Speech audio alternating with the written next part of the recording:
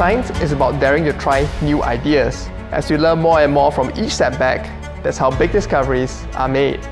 When we are curious about our world, we find the motivation to study it, to understand it. Programming has always amazed me since I was young, as it can create so many innovative games and applications.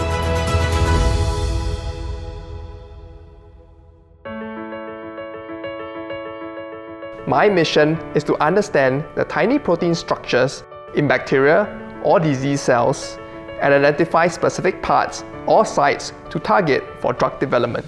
To do this, I use a special technique called cryogenic electron microscopy or cryo-EM. We freeze the fragile proteins under cryogenic temperatures and take lots of photos from different angles. But these proteins don't always freeze in a way that lets us see every part. To overcome this, we developed a method that involves physically tilting the microscope stage, together with various cryo-EM grids, computational processing, and data collection settings. This makes the resulting 3D image more robust from different angles. Our technique was especially useful during COVID-19. We helped our collaborators understand the structure of the coronavirus's proteins, which helped in creating new therapeutics involving multiple antibodies targeting different COVID variants. Using computational methods and analytical techniques, I search for new materials and explore their hidden quantum behaviors. I focus on their electronic, magnetic, and optical properties at the quantum level, studying how they can be converted into high-performance next-generation technologies. Take solar cells, for example. Even after 10 years of innovation, typical silicon-based solar cells only convert around 30% of sunlight into electricity. Our research has identified materials that can generate an exceptionally high photocurrent.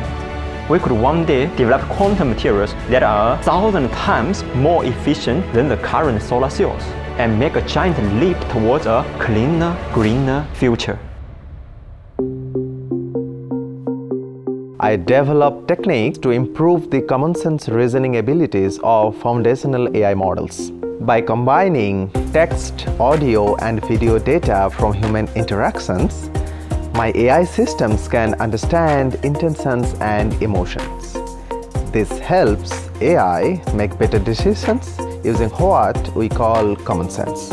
I believe this will greatly enhance machine-to-human interactions and it can also assist in human-to-human understanding which can support areas like healthcare, assisting doctors in tracking patients' emotions and mental health.